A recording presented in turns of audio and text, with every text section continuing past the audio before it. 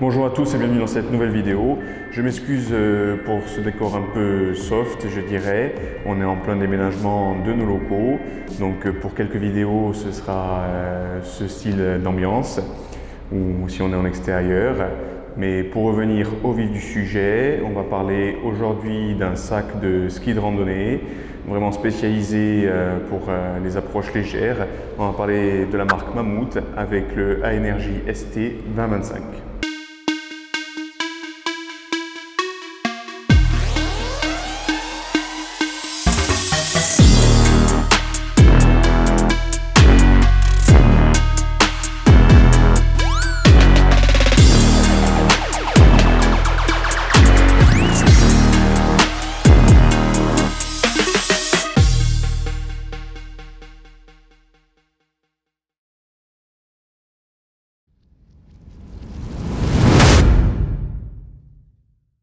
Donc ce sac est spécialisé, comme je vous le disais, dans le ski de randonnée pour des approches légères, donc plutôt pour un ski à la journée, peut-être pas pour un ski euh, sur plusieurs jours. Euh, on va avoir un volume de 20 à 25 litres grâce à une, ouverture-fermeture par enroulement. Donc on va pouvoir gérer les 5 litres supplémentaires sur la partie haute du sac. Donc au niveau de la conception, on est là sur du 100% polyamide, donc très résistant déperlant sur la partie extérieure, je dirais. La partie dorsale, elle, elle est en revêtement euh, mousse et euh, respirante, surtout grâce à une conception en nid d'abeille. Pareil au niveau des bretelles, ce qui va le rendre vraiment respirant et qui va nous permettre de le laisser sécher rapidement une fois qu'on aura transpiré dedans. Au niveau du portage, on va avoir deux bretelles de style gilet d'hydratation, donc vraiment légères. Elles sont réglables sur la partie basse pour la longueur des bretelles. On va pouvoir également les régler au niveau de la sangle orange pour les rapprocher ou les écarter du sac. Et au niveau de la face, on va avoir deux sangles pectorales, aucune sangle ventrale cette fois-ci. Deux sangles pectorales euh, réglables par élastique sur euh, la partie basse des bretelles. Et on va également pouvoir les régler au niveau que l'on veut sur la bretelle pour les, euh, les, centrer ou les élargir. Donc ce qui va nous permettre vraiment d'avoir un sac confortable et qui va surtout être stable pour, euh, la descente en ski. On retrouve également au niveau des bretelles, sur chaque bretelle, donc des porte-gourdes en filet élastique avec sur le haut un élastique de serrage pour maintenir la gourde idem de l'autre côté. Donc c'est vraiment un sac euh, qui va être euh, efficace dans les sorties sportives, comme je vous disais, plutôt les sorties à la journée. Pour rester dans l'hydratation, donc c'est un sac qui est prévu également pour les poches à eau. Donc on va avoir à l'intérieur une double poche euh, au niveau dorsal pour venir enfiler notre poche à eau à l'intérieur avec une sangle orange bien voyante sur le haut pour venir la fixer et évidemment du coup une sortie où il y a marqué H2O sur la partie euh, porteur, je dirais, et qui vient ensuite avec un élastique pour venir passer notre, euh, notre durite d'hydratation.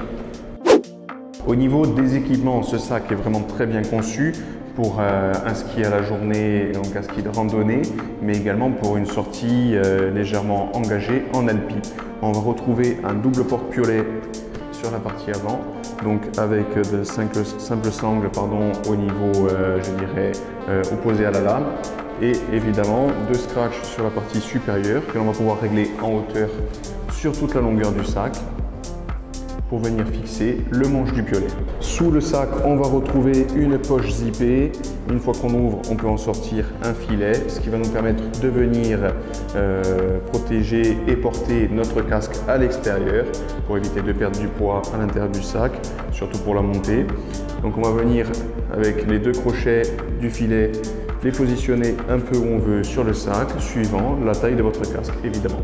Du portage des skis, on va avoir plusieurs modes de fixation. Donc déjà tout simplement en diagonale, avec une sangle au niveau bas renforcée pour l'écart de ski, et évidemment un retour en diagonale sur euh, la bretelle droite du sac, un retour élastique sur clip qui va nous permettre donc de venir fixer nos skis très rapidement sans enlever le sac de notre dos. Donc ça, ça va plutôt être du style euh, en compétition ou euh, en sortie vraiment rapide. On aura également la possibilité de venir fixer les skis de rando de chaque côté du sac, donc en mode parallèle, pour bien équilibrer la charge et pour euh, faire une sortie plus engagée en mode alpine.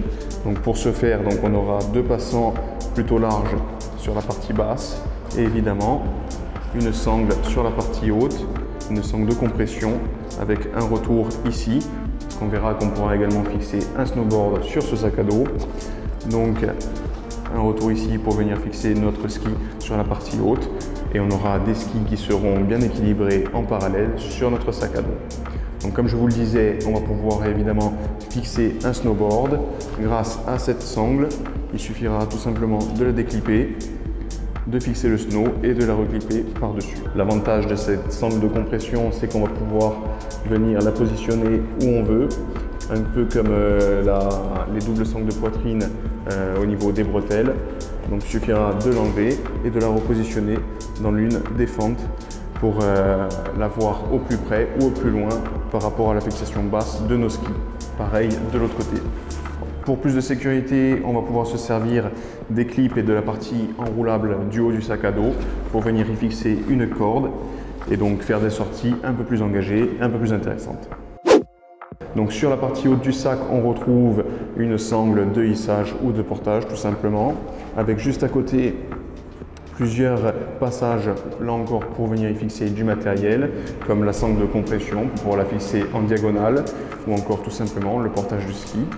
Et on retrouve juste à côté une poche sur zip, cette fois-ci de petits volumes, avec à l'intérieur une sangle orange fixée et un petit euh, mousqueton orange en plastique pour venir y fixer du matériel, celui que l'on n'a pas envie de perdre. Au niveau de l'accès à notre sac, donc on va avoir tout d'abord un accès par fermeture en roulement comme je vous le disais sur le dessus, donc pour pouvoir gérer le volume et donc ce qu'on va pouvoir mettre dedans.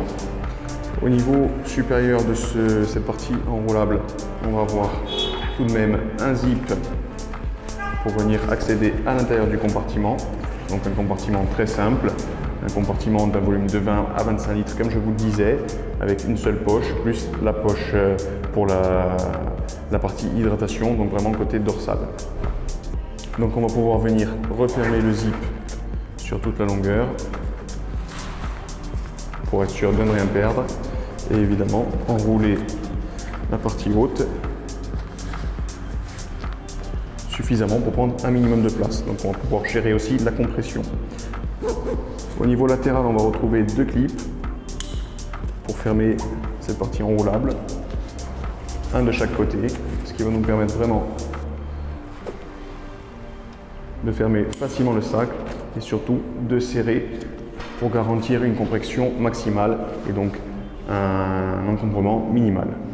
Pour venir accéder tout de même à l'intérieur du compartiment, mais sur une partie différente que la partie haute, la marque a pensé à mettre une fermeture sur la partie euh, du côté porteur, je dirais, du sac à dos, avec un zip qui va venir sur toute la longueur du sac, donc ce qui va nous permettre d'accéder du haut au bas du sac, venir récupérer un élément sur la partie basse et refermer le sac sans avoir besoin d'enrouler et dérouler la partie haute. L'avantage majeur de ce sac à dos, c'est bien évidemment sa poche spécialement conçue pour votre kit avalanche, donc sur la partie extérieure du sac.